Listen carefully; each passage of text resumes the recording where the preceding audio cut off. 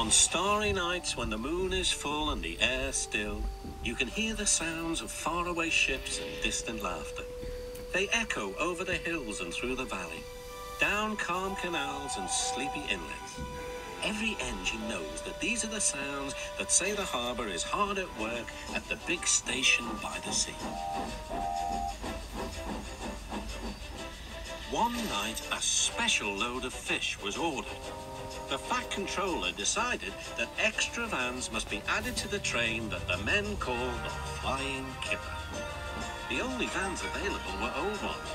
They had not been used for a long time. Henry waited impatiently by the quayside as Duck shunted them into position. Thomas puffed by with the mail train. Hello, Duck. Going fishing? I'd take care if I were you. Why? puffed Duck. Well, for one thing, puffed Thomas, remembering his own experience, if fish get into an engine's boiler, they always cause trouble. And for another, fish can be awfully smelly. And I know what I'm talking about. Good night.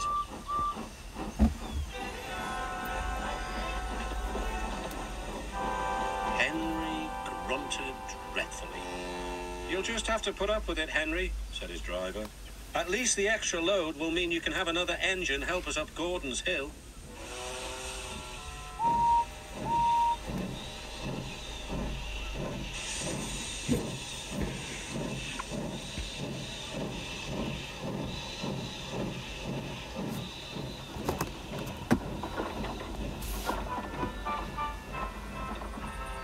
Meanwhile, Duck was waiting at Edward's Station so that he could help the heavy train by pushing from behind. Henry made good progress.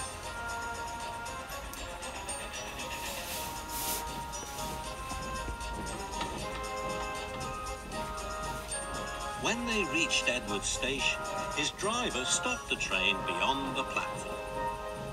Then Henry gave a special signal. Beep, beep, beep, beep. I need help, please. Beep, beep, replied Duck. I shan't be long. Duck buffered gently up to Henry's train. He was not coupled on. Henry would then be able to run on without stopping when they reached the top of the hill. Ready, whistled Duck. And off they set.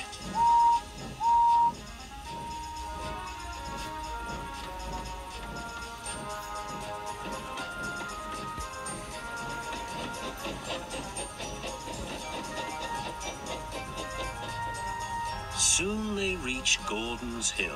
Push hard, push hard, puffed Henry. We're doing it, we're doing it, replied Duck. Henry was pulling his train harder than he realized.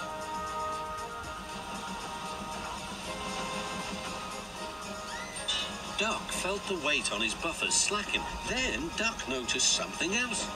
There's no sign of a tail lamp, he puffed. He whistled, but there was no reply. Meanwhile, Henry had noticed something too. My train's getting heavier, he thought to himself. I'm slowing down. Then there was trouble.